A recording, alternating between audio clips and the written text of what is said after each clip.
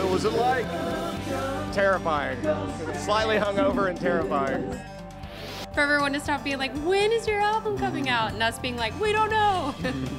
Because we will have some high drama in the show. Uh, so that'll be like a, a breather. This week on Headline Country, it's the week Music Row becomes Music Island. We'll take you to the 17th annual Key West Songwriters Festival. Carrie Underwood gets set to blow away a town near you. And we'll catch up with a rising star we first introduced to you from last year's Key West Fest, Thomas Rhett. Plus, Songwriting 101. Artists share the biggest obstacles in between a great idea and a hit song. We're Love & Theft and headline country from Key West. Starts right now. And we're a Stormy, dude. Come with us next year, dude. Don't miss out. Hello, everybody. I'm Stormy Warren from the southernmost point in the continental United States. Welcome to Headline Country. Well, if you're a music lover and you don't mind warm tropical breezes, umbrella drinks, and perfectly clear turquoise blue waters, then the annual Key West Songwriters Festival is the perfect addition to your bucket list. Each year, hundreds of songwriters and thousands of fans make the pilgrimage to beautifully quirky Key West to share their common love of music in its most raw and honest form. Welcome! Make a little noise! Welcome to Key West! Key West, Florida. I did not get any better than this. Welcome to the Key West Songwriters Festival, where country music comes in all shapes and sizes. Make a little noise!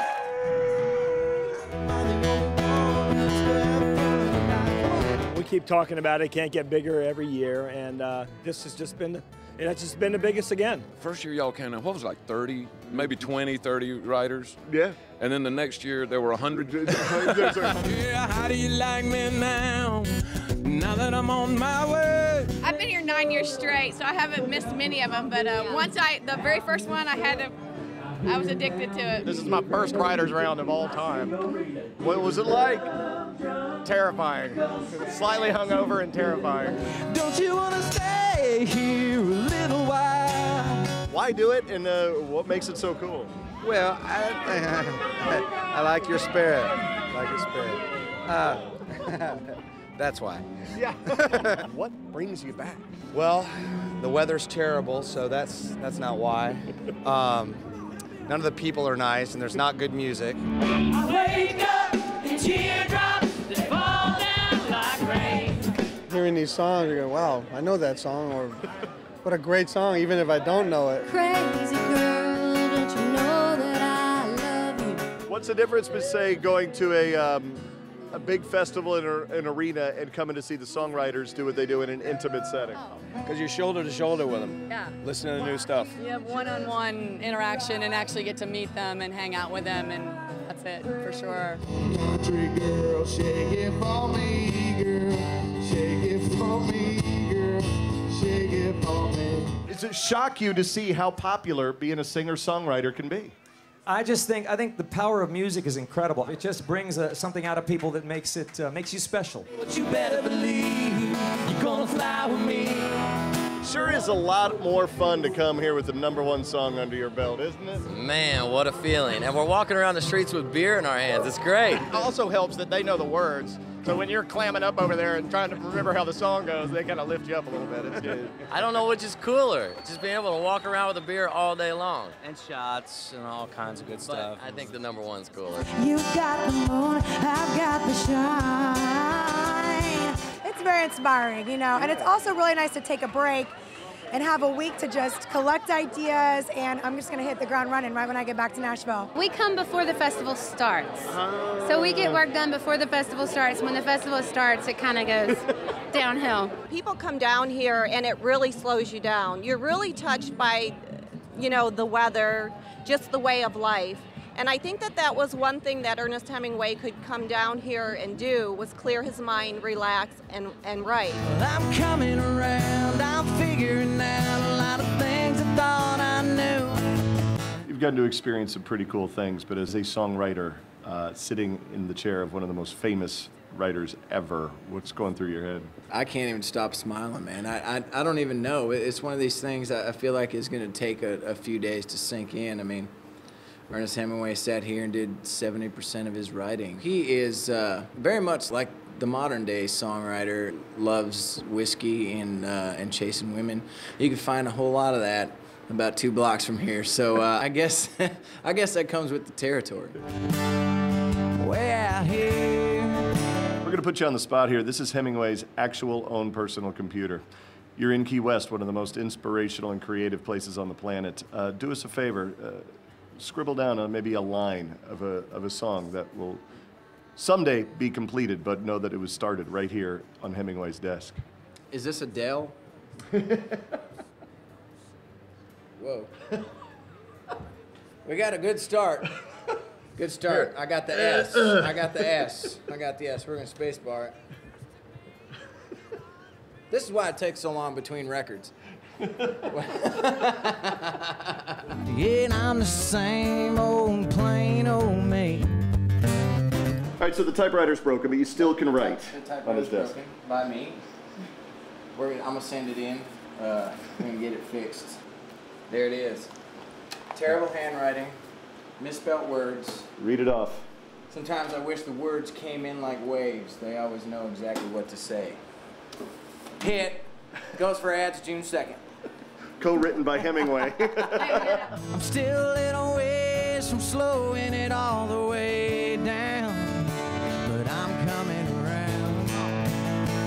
there is a young crop of talent coming in, faster and more furious than I've seen in a long time. I've seen, I've, I've noticed that too, and, and they're good.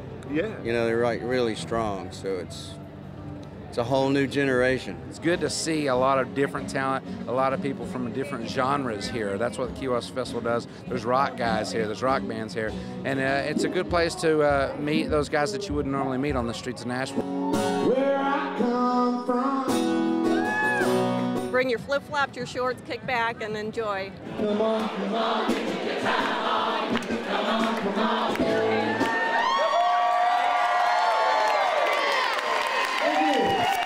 This year, proceeds from the festival help raise money for Operation Homefront, an organization that provides crisis services for families of our troops serving overseas. For more information, visit operationhomefront.net. More from beautiful Key West when we come back. Coming up, I, I definitely predict some broken down section in the show, though.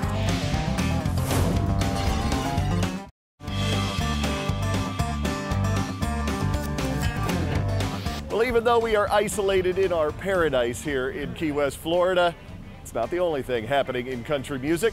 Here's a look at some of the top stories making country headlines this week. While Carrie Underwood continues to blow away the competition on the album charts, fans can get their one way ticket to see Carrie's Blown Away tour beginning Friday, May 11th. Sing along with it. Hey, we got a one-way ticket. The four month trek kicks off September 14th in Manchester, New Hampshire, and will feature special guest Hunter Hayes. We definitely want to um, have a variety of songs from the new album. Obviously, um, want to bring bring in the hits, the ones everybody already knows. Uh, so we'll, we'll just work out some fine balance of all of that. Um, I, I definitely predict some broken down section in the show though, because there's there's some really great.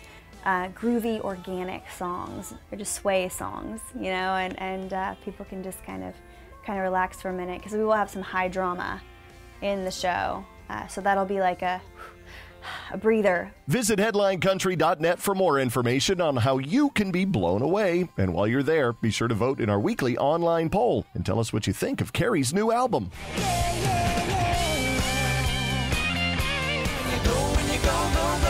Till you hear banjo. Rascal Flatts can thank a banjo for their latest stint at the top of the charts. Banjo, the first single from their eighth studio album Changed, has just become the trio's 14th number one. You can catch the guys and their banjo out on the road beginning June 15th. Little Big Town Eli Young Band and Eden's Edge will round out the show.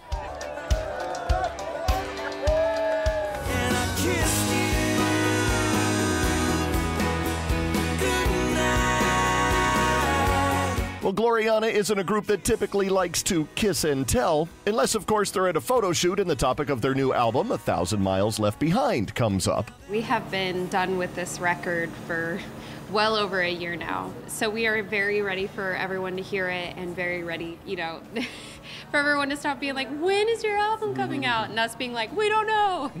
The album, slated to release this summer, holds a lot of firsts for the group. Aside from going from a quartet to a trio, each member had a hand in co writing every single song on the project. We've been through so much as a band over the past three years. And we went through all these experiences together, and I think we've grown. There's a lot of growth with this new record, and uh, even just in ourselves personally. So that's really what the record is representing.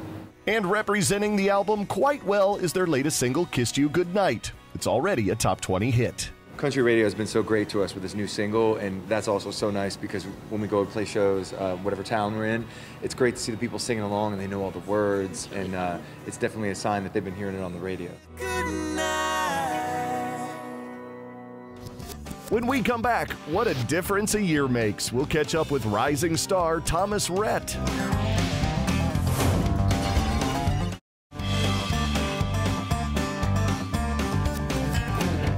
Welcome back to the Better Angels Key West Songwriters Festival. I'm Stormy Warren. This is the Smokin' Tuna Saloon, ground zero for this year's festival, home to many of the dozens of songwriter shows scattered across the island. During our coverage of last year's festival, we introduced you to a guy named Thomas Rhett, son of former recording artist turned massively successful hit songwriter Rhett Akins. Now, at the time, Thomas Rhett was just beginning to get out from underneath his dad's shadow. One year later, thanks to his debut hit Something to Do with My Hands, Thomas Rhett has found a spotlight all his own.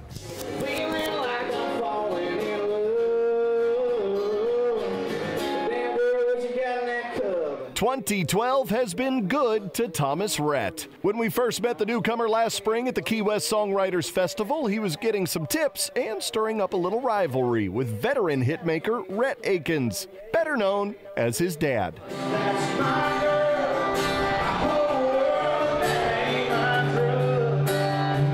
My goal is for him to be a huge, huge star, and I get to open for him, you know, and uh, and I, I want him to pay me, you know, 20, 30 grand a night to, to open. I mean, uh, you know, I've bought him cars, sent him to college, sent him to private school. I need a little payback. I can't even get a Jason Aldean cut. Jason, if you're watching, help help a dad out, man. Come Hey, on. don't give him any cuts, Jason. He Oh, oh, so this is how it goes. hey, he gets a number one every three, four weeks. So, you know, I'm just struggling for it ain't cut. So. It's, yeah, it's going to turn into a competition now, you know. Fast forward one year later, and the competition is indeed heating up. With a songwriting cut on Aldean's My Kind of Party album under his 21 year old belt, Thomas's debut single as an artist, Something to Do with My Hands, is now making its own statement on the charts. You know, I wrote this song about a year ago. One of my buddies had the title, and another guy had uh, the melody, and it was one of those tunes where you know a couple weeks later I still liked it, and uh, that doesn't happen a lot, and uh, that's kind of how I knew I had a good tune. And so we still liked it when we were trying to pick songs for this first record, and we just thought this would be the best one, you know, to come first with. It's just, it's up tempo, it's fun, it's tongue cheek, and you know it's a good good setup for the rest of the stuff we got. So maybe I can stick 'em in your pockets, run 'em through your hair, and we can get to rocking. Just a lot of firsts going on in my life, you know, being on the road and getting used to spending the night in a Marriott hotel every night and, and uh, getting up and going and playing for radio stations and, and uh, playing shows. And um, this is just a whole new lifestyle for me. Thomas Rhett can add one more first to that list filming a music video, and in true country music fashion, nonetheless, at a bar with plenty of girls. The song's fun and, and uh, it's up tempo and and uh, it's just, a rocker, and we want we want people to feel the same when they watch the video as they do when they hear it on the radio. You know, just happy. So definitely today is cool because, you know, I mean, I've- I've been filmed before, but not under under this these kind of circumstances with like real cameras and train tracks. So it's been awesome. Um, definitely bigger production than I ever expected. I didn't know it was going to be like this, but uh, it's, it's very cool to be part of something like this. And some of my buddies from school were here that I went to college with, so it's cool to have them there because you know I know them and I can be idiots with them and all that kind of stuff. But it's been fun, you know, especially my buddies being here.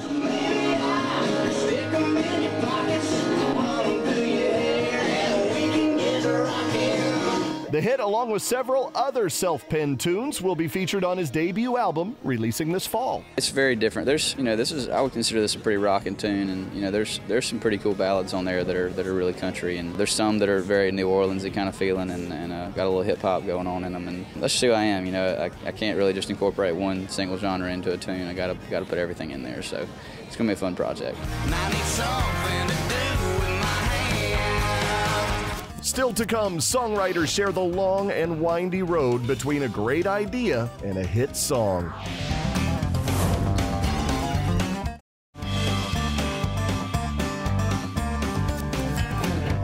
Well, it may look easy putting a bunch of lyrics to music and writing a song, and maybe it is. I can't do it.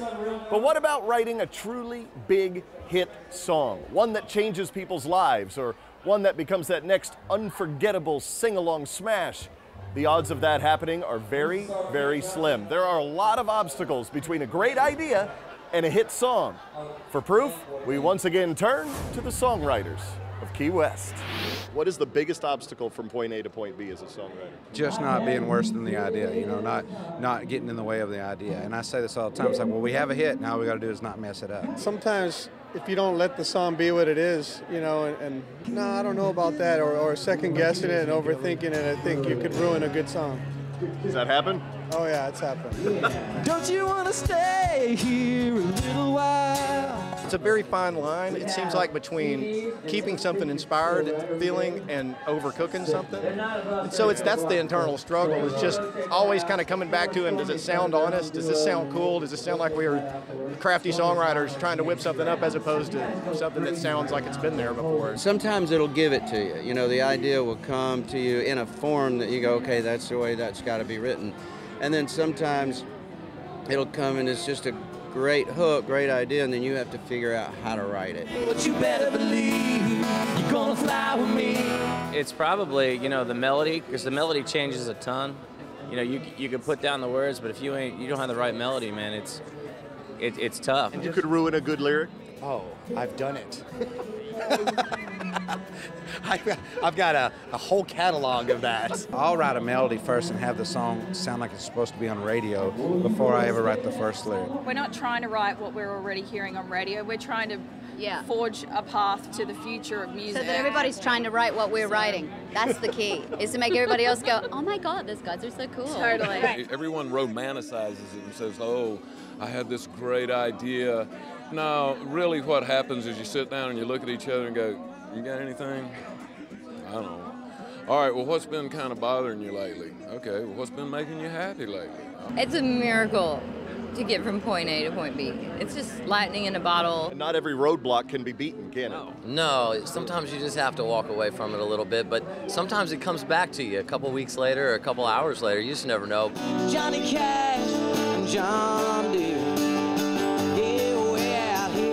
But I think you have to get through the horrible ones to get to the, the gold the gold ones. You know, that's uh, that's what I think at And least. it feels good when you get to that point B, doesn't it? It does. It's like you celebrate. You're on cloud nine. It's like a super drug high, and for like two days, and then you're back down trying to scratch them out again. So it's uh, it, it's great. I love it. Well, to all of you aspiring songwriters out there, remember it's not as easy as it looks. Well, I want to thank the island of Key West, Better Angels Music, BMI, Charlie Bauer, and the Smokin' Tuna Saloon, and of course, all the talented singer songwriters who made for another amazing Songwriters Festival in Paradise. Until next time, keep up with everything going on in country music at gactv.com, headlinecountry.net, or on Twitter at Headline Country, or follow me at Stormy Warren. Take care from Key West. Yeah, come on. To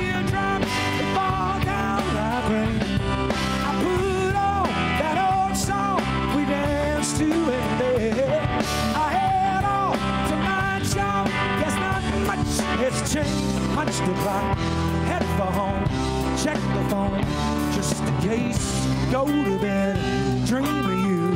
That's what I'm doing these days.